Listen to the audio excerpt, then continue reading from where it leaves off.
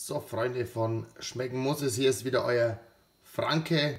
Jetzt muss ich euch in einem mini-mini-Kurzclip von wirklich wenigen, in Anführungszeichen, Sekunden dann doch das Ergebnis der leckeren Schweinerei mal äh, präsentieren. Die Ländchen, wie in den ähm, aktuell drei Teilen äh, zubereitet worden sind, habt ihr ja äh, nachschauen können oder könnt ihr nachschauen aber heute ist der Tag der Tage. Jetzt haben wir uns mal das erste geschnappt.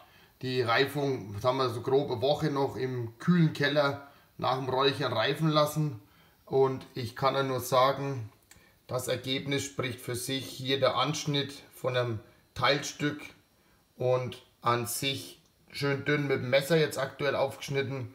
Das werden wir uns jetzt gleich schmecken lassen. Ich kann es echt nur noch mal sagen, das ist salopp gesagt, die einfachste Art und Weise an so ein lecker kalt geräuchertes Stück äh, Schweinefleisch zu kommen.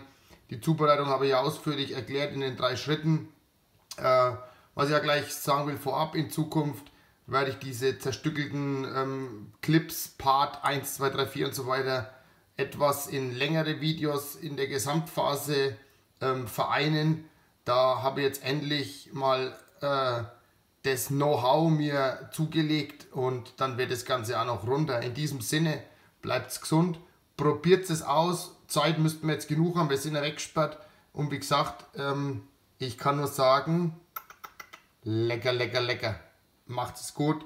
Bis dahin. Ciao.